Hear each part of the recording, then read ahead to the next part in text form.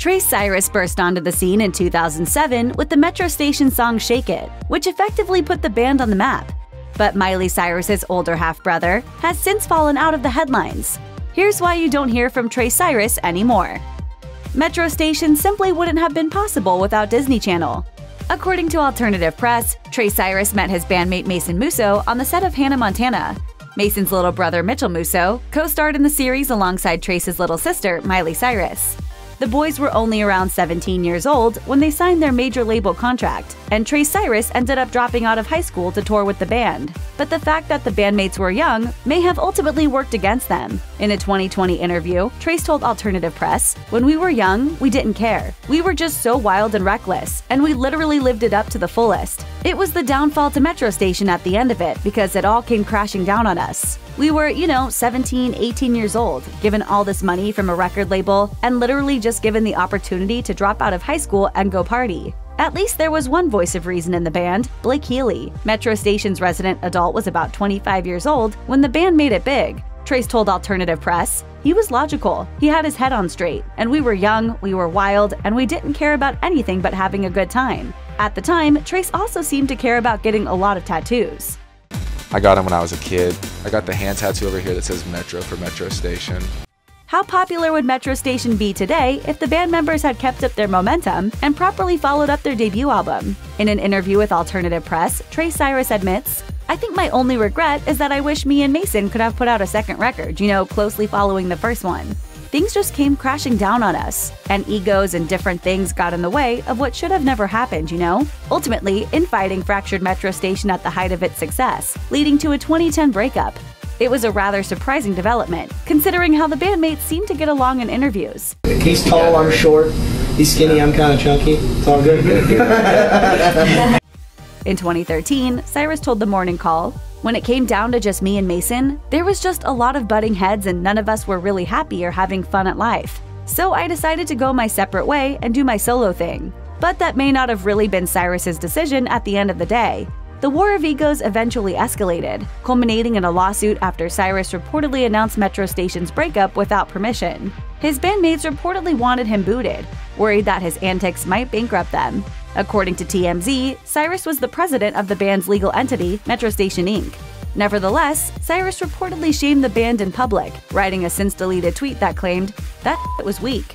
In retaliation, the band subsequently tried to oust Cyrus and took the case to court. It's not really clear what happened after that, but the band did eventually reunite, so there's that.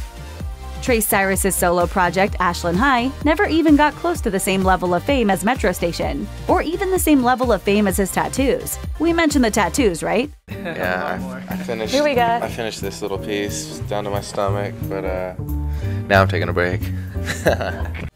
He released the project's debut track, French Kiss, in 2010, the same year Metro Station called it quits. Years later, the singer still appeared to be struggling on his own. In 2013, Cyrus self-released Ashland High's sophomore album Drugstore Cowboy. It wasn't available in stores, and he performed the songs with the DJ instead of a live band. It's worth noting that he already gave his debut album away for free on Ashland High's official website in an attempt to generate buzz. As the Morning Call reports, he says he understands doing things himself means giving up the immediate attention a major record label brings, but he also says he needs the time to prepare himself for another run at the top.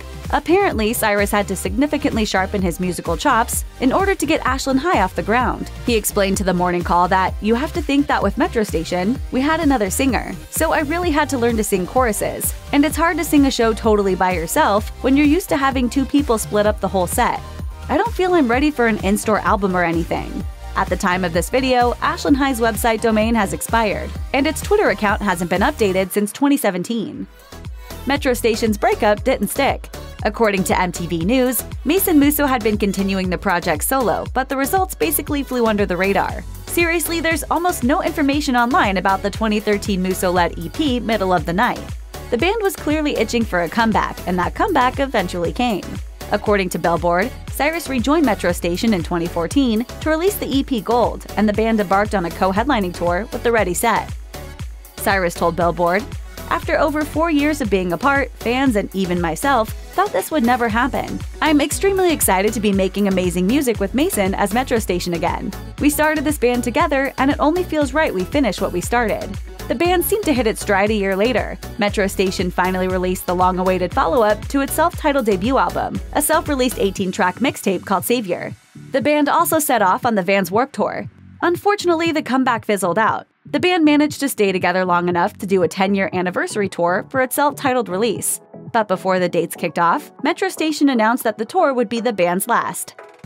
Off the heels of Metro Station's second breakup in 2017, Billboard reported that Trace Cyrus relaunched his solo career with a track called Lights Out. Since then, he's released enough songs on YouTube to put out a full length album. And to hear him say it, that's just the tip of the iceberg. He apparently has quite a few songs tucked away, but you'll probably never hear them. In an interview with Alternative Press, Cyrus admitted that, even though I'm not nearly as wealthy as I want to be or nearly as successful as I hope to be one day, every single day of my life I get to go in my studio and make music.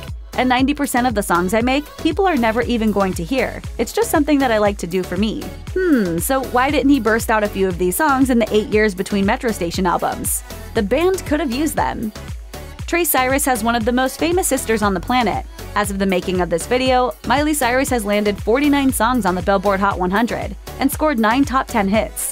Though Metro Station initially went on a massive arena tour with Miley in 2009, Trace reportedly refuses to use his sister's fame to get ahead. In a 2012 interview with Fuse, the singer revealed that he recorded a track with Miley called Shot in the Dark, but claims he ultimately decided not to release it. What was the logic there? He told Fuse, When I feel like I've had my own success and fame because of my hard work, then I'll release the song with Miley. But I'm not trying to use her to get exposure or sell records. Trace Cyrus doesn't always cast himself as the most likable guy, and he apparently has the ability to unnerve people, what with all the tattoos and all. The star made headlines in 2009 when he slammed the Jonas Brothers. In an interview with Details, he said, I could have gone the route of the Jonas Brothers. Those guys can't live their lives freely. They have to put out this image that's totally fake. I'd never lay a hand on Nick. I love that kid. But the other two better not get in my way.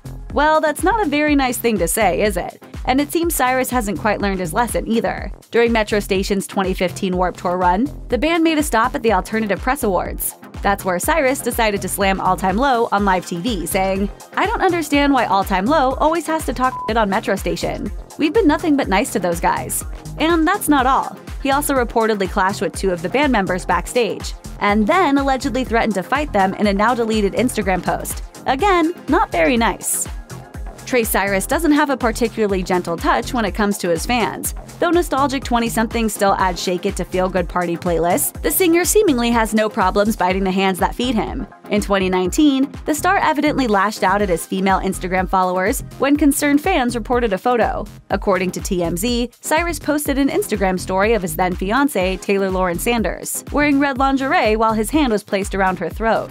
Clearly, this went against Instagram's code of conduct. The company deleted the post and sent him a note about how it violated their guidelines. In response, Cyrus wrote an intensely unfortunate Instagram story in which he claimed that the fans who had reported the post were jealous. He wrote in part, If you're not happy with your look, then do something about it. Go to the gym. Learn to do your makeup properly. Find out about fashions that fit your body type. I believe every woman can be beautiful, but jealousy and lack of confidence in yourselves makes you all look disgusting. Aspiring musicians take note. This is not the way to win over new fans. There's a reason Trace Cyrus hasn't been touring as much as he did. He made an active choice to settle down with fiancée Taylor Lauren Sanders. According to J14, the couple announced they were officially dating in February 2018. And it was a little bit of a whirlwind. Us Weekly reports that the pair moved to Las Vegas together that December, and Cyrus proposed the night they got there. It's not surprising he chose to slow down, considering he was in the midst of wedding planning. In a January 2020 Q&A with Alternative Press, he said, "When I was younger, that's how it was. It was just 24 7 on the road. Play these shows, go, go, go. I just really didn't have a moment to breathe. And now it's just like I want to relax. I want to be with my girl and my dogs. I want to have a life of my own and do Metro Station when it makes sense. Unfortunately, Cyrus didn't actually get the opportunity to settle down. According to People, the singer revealed he was newly single on the same day. Alternative Press published this Q&A. In a now edited Instagram caption, he wrote, "Some of you might already know, but I'm recently single and extremely thankful to have my family around me during this time. It's unclear whether or not they've since gotten back together, but we certainly hope so." Trace Cyrus has been laying rather low in recent years, but maybe that's about to change. The star is reportedly giving Metro Station a third chance. In a 2019 interview with Alternative Press, the singer said, I think a few years ago, I just got so burnt out on the touring side of music that I just wanted some time off and to get my personal life together. Fair enough, but how did this particular musical reunion come about? Cyrus told Alternative Press, Now it's just things like TikTok and Spotify and all these new things that didn't exist before we made Shake It, and Metro Station is taking off in a whole new way that we thought would never happen. It's really, really cool, and it just inspired us to want to get back together and make new songs. Yeah, it's nothing that we really planned. Cyrus reportedly called Mason Musso, asked him to get back into the studio, and that was that. As Cyrus explains, I hadn't seen or spoke to Mason in over two years, and I just came up to LA, and you know, within a few hours, we had made a whole new song that we are so excited about that we feel like can make another stamp on the music industry. Metro Station is planning to release new music in 2020. In fact, the duo played their first show in nearly three years, in February 2020. Who knows what the future may have in store for them?